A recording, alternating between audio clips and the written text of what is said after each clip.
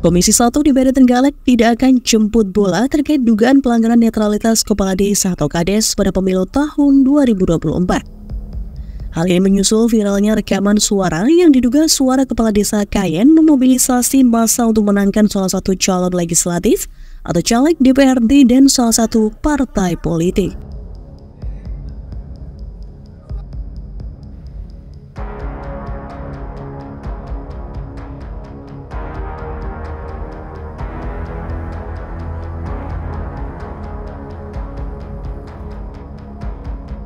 Laju keterangan Ketua Komisi 1 DPRD Trenggalek terkait dugaan pelanggaran netralitas Kades Kayen, Kecamatan Karangan, Binnya berharap bisa ditangani secara profesional. Setelah ada laporan masuk, pihaknya akan merespon dugaan pelanggaran tersebut.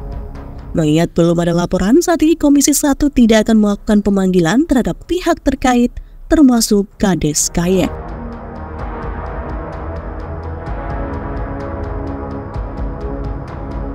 Komisi 1 DPRD Trenggalek Alwi Burhanuddin mengatakan kasus dugaan pelanggaran netralitas Kades Kayen ini sudah menjadi perhatian semua pihak.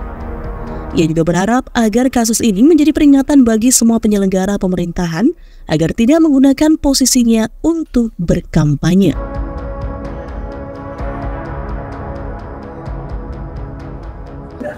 Iya. Iya ditangani secara profesional nanti apa kalau memang apa ada indikasi ya coba secara apa dia pelanggarannya di mana ya diluruskan lah gitu. Akan melakukan pemanggilan ke pihak terkait? Eh, sejauh belum ada laporan belum lah. Tidak ada upaya jemput bola Pak? dari komisi. Saya rasa itu sudah jadi atensi semua dan itu juga menjadi warning bagi semua penyelenggara pemerintahan supaya tidak menggunakan apa posisinya untuk berkampanye. Kan itu soal netralitas kades kan. Ini eh, ada sangkutannya dengan Komisi 1. Pak. Nah, apakah nggak ada jemput bola untuk penegasan saja?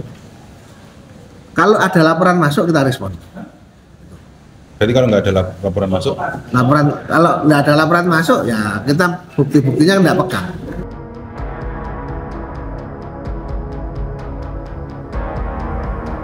Seperti diberitakan sebelumnya, butut viralnya rekaman suara yang diduga dari Kepala Desa Kayan Kecamatan Karangan, Trenggalek, warga lapor ke Bawaslu setempat. Suara itu berisi ajakan untuk memenangkan salah satu calon legislatif atau caleg dan salah satu partai politik. Dalam voice note itu juga disertai ancaman akan mencabut bansos jika warga membelot.